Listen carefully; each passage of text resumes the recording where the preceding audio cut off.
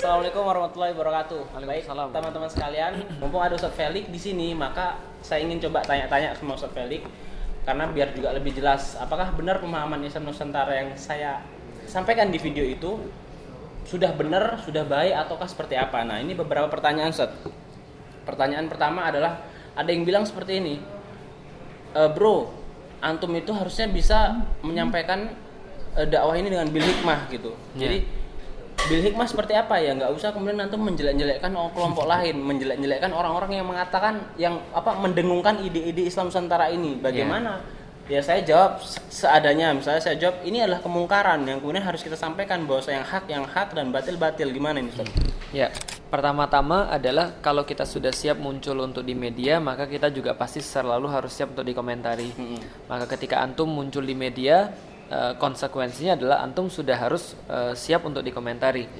Itu pun yang kita sampaikan pada mereka.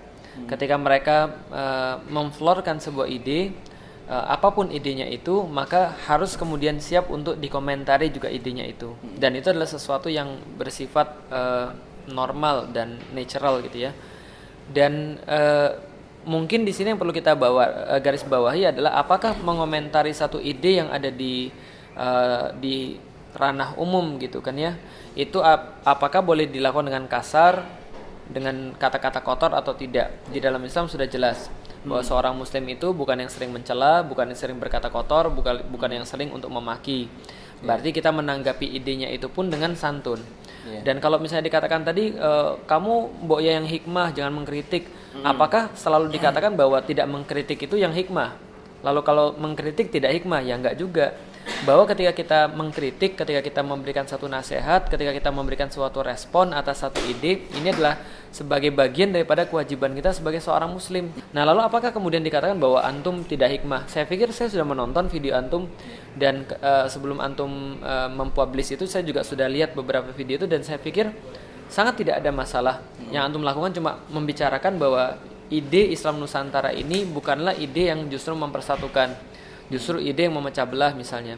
Atau ide ini justru adalah ide yang memberikan banyak sekali kemudorotan dan antum cuma mengambil video-video yang mereka sampaikan Iya. lalu kemudian antum publish di situ tanpa kemudian menimbulkan eh, antum tidak mengedit meme yang salah gitu kan ya. Tidak kemudian eh, orangnya orangnya itu lalu kemudian perkataannya yang lain tidak. Perkataannya sudah terpublish umum. Lalu kalau dibilang tabayun dong kita harus tahu dulu tabayun itu dalam bidang apa. Tabayun itu adalah dalam perkara-perkara yang kita tidak tahu beritanya kemudian kita ingin memperjelas beritanya. Dari situlah kemudian eh, Allah Subhanahu wa taala berfirman wala takfu ma laisa laka bihi ilm. Jangan kalian mengikuti segala sesuatu yang tidak ada ilmu tentangnya. Nah, kalau tidak ada ilmu kita tidak mengikuti. Akan tetapi bila videonya sudah tersebar luas, lalu kemudian perkataannya sudah dipublish oleh media-media, bahkan dia pun sendiri sangat bahagia, sangat bangga sekali dengan mengatakan tentang perkara-perkara seperti ini. Maka ini tidak termasuk dengan orang yang menggibah. Iya. Tidak termasuk orang yang harus tabayun. Lah kenapa? Videonya sudah ada, mereka bisa bertabayun sendiri dengan video itu. Kalau yang kita tangkap contoh misalnya dengan mengatakan misalnya contoh salah satu video yang antum ambil Islam kita ini adalah Islam yang hakiki. Berarti Islam yang sebenarnya adalah Islam Nusantara itu, Islam Indonesia. Sedangkan Islam Arab itu seolah-olah diposisikan sebagai penjajah misalnya seperti Iya. itu. Atau dalam dalam eh, dalam yang antum kutip lagi dalam video-video antum kutip kan banyak hal-hal yang sudah langsung bisa ditabayun. Benar nggak ini omongannya? Ini orangnya sudah ada. Ngomongannya begini. Lah itu sudah ada video. Video itulah bentuk tabayun. Nah, Jadi yang sebenarnya antum lakukan adalah dengan mengutip video-video itu antum ingin memberikan pada publik ini loh kalau kalian mau tabayun ini sudah ada sudah ada source.